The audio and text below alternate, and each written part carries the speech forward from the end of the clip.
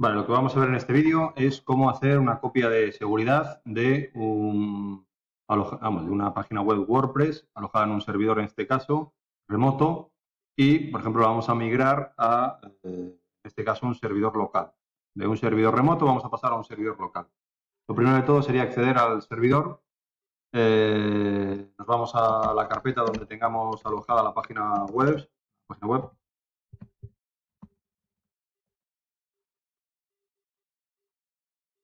Voy a acceder a este ejercicio DAS, por ejemplo, y eh, básicamente todo lo que tengo que copiar es lo que hay en HTD Docs. Lo voy a descargar a una carpeta en local.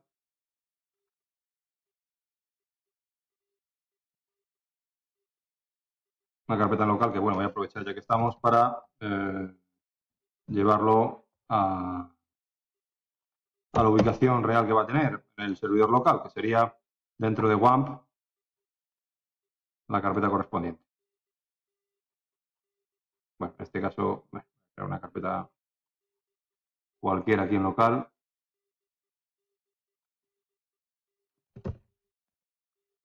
Y lo voy a descargar en esa carpeta.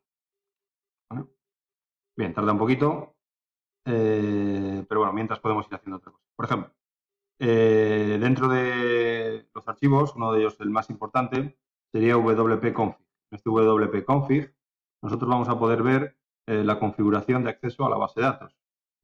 En este caso, eh, nos va a permitir saber cuál es el usuario de la base de datos para conectarnos a la base de datos esa. El usuario remoto, por ejemplo con este programa, SQL eh, será Das Castrillo, en este caso. Esta sería la contraseña de la base de datos. Y bueno, en lugar de localhost, estamos hablando de que nos estamos conectando al servidor remoto, en este caso sería ejercicio dash.com.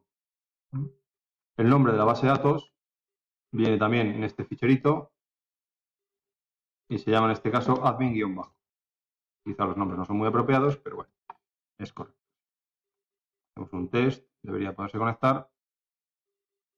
Y a partir de aquí, de que realice la conexión correctamente, realizaremos un backup de la base.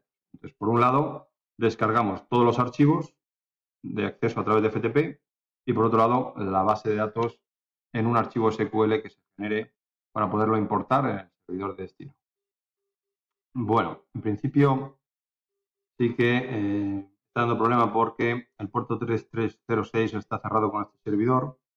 Eh, aunque bueno, se puede abrir y lo intentaré abrir para los próximos días.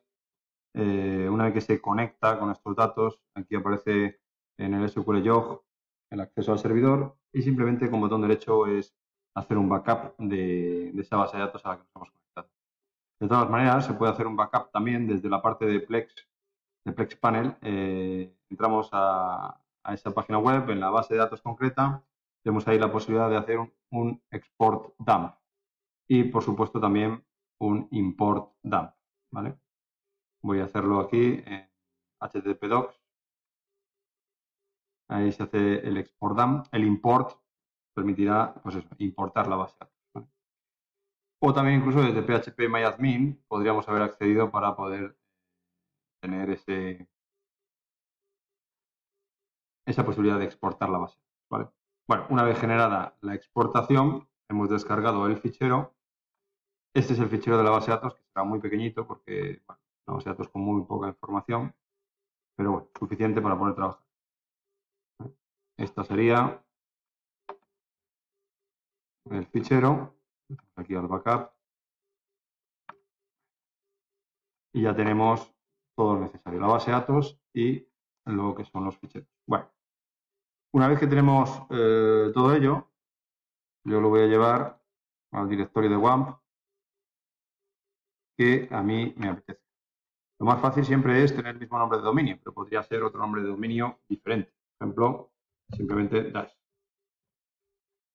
Aquí llevo toda la información. ¿Vale? Y ahora con localhost el nombre del dominio donde lo lleva. Evidentemente va a dar un error de conexión a la base de datos puesto que está intentando conectarse con los datos de configuración del wp-config. Entonces este wp-config, voy a poner aquí, voy a hacer un backup. Este sería el backup del servidor. Y este sería el archivo de configuración local. En el archivo de configuración local tenemos que meter los datos de acceso a la base de datos local, que no será otro que eh, eh, localhost, ¿dónde está? Aquí. Nombre de la base de datos ahora lo, ponemos. aquí localhost. Aquí será eh, blanco. Usuario, vamos a poner root. Y el nombre de la base de datos la voy a llamar bd dash. Evidentemente esto lo he tenido que crear previamente, esta base de datos bd dash en mi servidor local. Si no lo he hecho, lo hago ahora en un momento. PHP MyAdmin.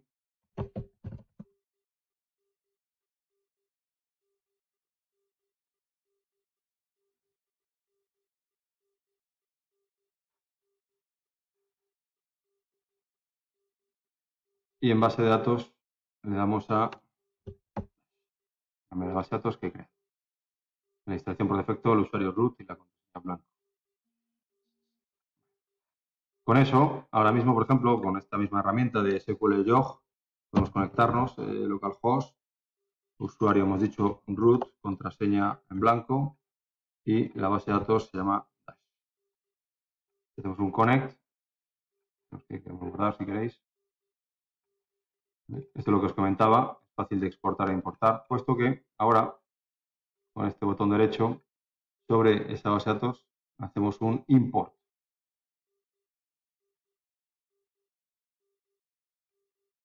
restore from SQL. Buscamos el archivo donde está la base de datos.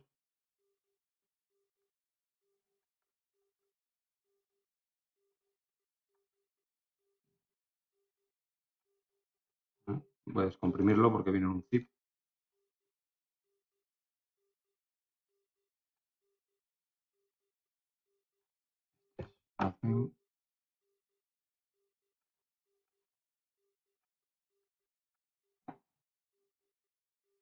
Vale. Y se importan todas las tablas.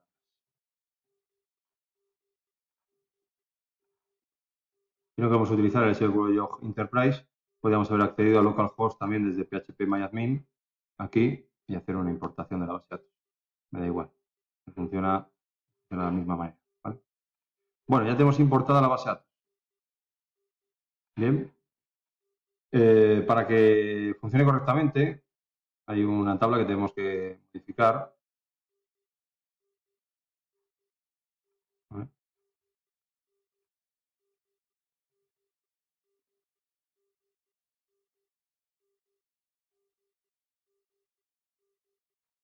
un, un select de esta tabla.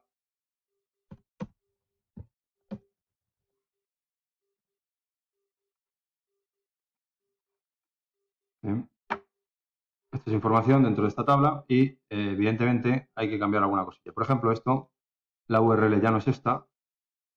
Ahora la URL será localhost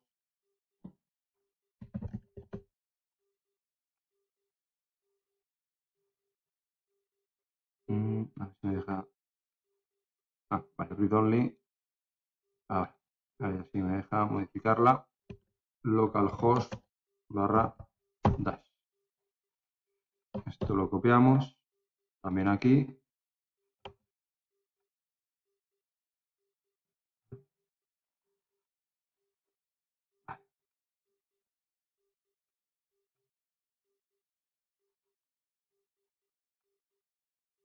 Bien, ya tenemos modificada los datos. Y eh, en principio ahora debería conectarse a la página web siempre que hayamos modificado el wp-config, que no estoy seguro ya si lo hemos hecho. El wp-config, dash, tal, tal, tal, lo he escrito mal. El nombre de la datos era dash, así ah, El nombre de la datos será Dash. Sería Dash.